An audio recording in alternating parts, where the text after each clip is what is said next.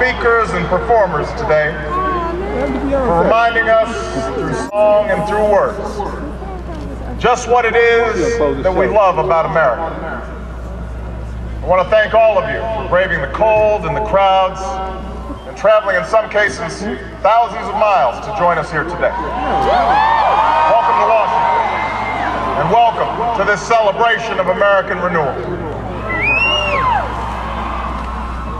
In the course of our history, only a handful of generations have been asked to confront challenges as serious as the ones we face right now. Our nation is at war. Our economy is in crisis. Millions of Americans are losing their jobs and their homes.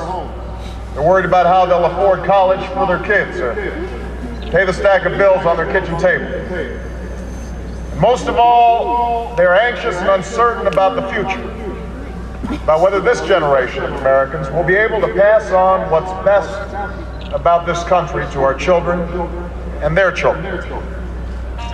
I won't pretend that meeting any one of these challenges will be easy. It will take more than a month or a year.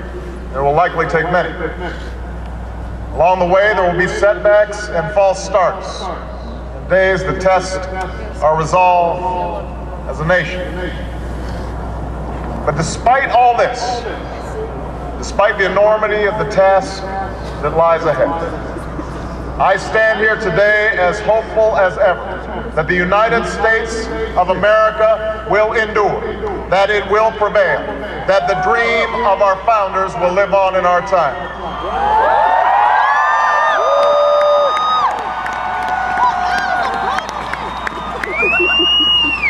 What gives me hope is what I see when I look out across this mall. From these monuments are chiseled those unlikely stories that affirm our unyielding faith. A faith that anything is possible in America. Rising before us stands a memorial to a man who led a small band of farmers and shopkeepers in revolution against the army of an empire, all for the sake of an idea. On the ground below is a tribute to a generation that withstood war and depression. Men and women like my grandparents who toiled on bomber assembly lines and marched across Europe to free the world from tyranny's grasp. Directly in front of us is a pool that still reflects the dream of a king, the glory of a people who marched and bled so that their children might be judged by their character's content.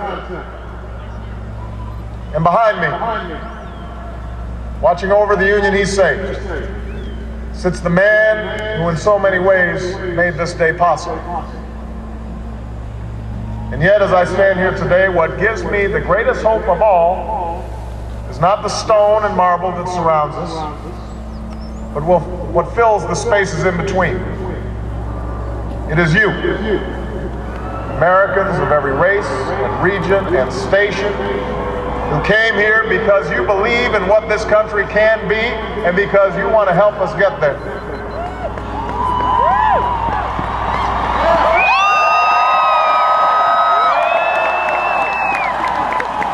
The same thing that gave me hope from the day we began this campaign for the presidency nearly two years ago.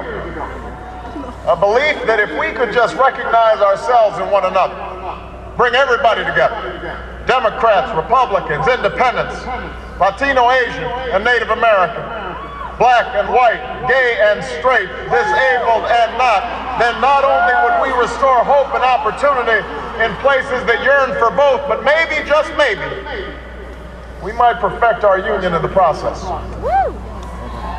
We love you! This is what I believe.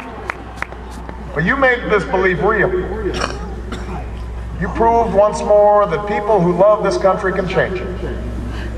And as I prepare to assume the presidency, yours are the voices I will take with me every day when I walk into that Oval Office. The voices of men and women who have different stories, but hold common hopes, who ask only for what was promised us as Americans, that we might make of our lives what we will and see our children climb higher than we did. It is this thread that binds us together in common effort, that runs through every memorial on this mall, that connects us to all those who struggled and sacrificed and stood here before. It is how this nation has overcome the greatest differences and the longest odds. Because there is no obstacle that can stand in the way of millions of voices calling for change. That is the belief with which we began this campaign, and that is how we will overcome what ails us now. There is no doubt that our road will be long, that our climb will be steep, but never forget that the true character of our nation is revealed not during times of comfort and ease, but by the right we do when the moment is hard. I ask you to help reveal that character once more. And together, we can carry forward as one nation and one people the legacy of our forefathers that we celebrate today. Thank you, America.